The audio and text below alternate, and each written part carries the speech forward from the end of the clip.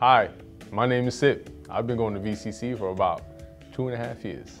I started attending VCC because we were church shopping, um, me and my wife, and I'm active military, so, you know, just shopping around churches, you know, going around here and there, and this good church, non-denominational church, and um, we wanted to come and check it out. And um, since we came here, we, we loved the transparency, we just loved everything about it.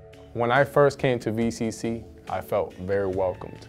Being connected, feeling connected, feeling appreciated, feeling welcome, that's something that's been consistent here at VCC. I think anybody that comes here can have a place here, have a balance, especially for, for like me, I have a young family and you know that potential to grow, that's important. So I always invite family, um, friends, I let them know where I, where I go, um, what I do.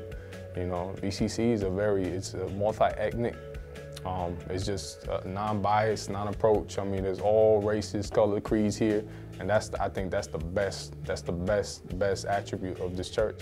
Uh, VCC's been amazing. I mean, I've been here since 2011. I've been to other churches for for short stints, and I've just never felt that that true connection. We're here for the word. We're here to worship, and it's all powerful. I know there's something happening here at VCC. And I'm just I feel privileged to be a part of that.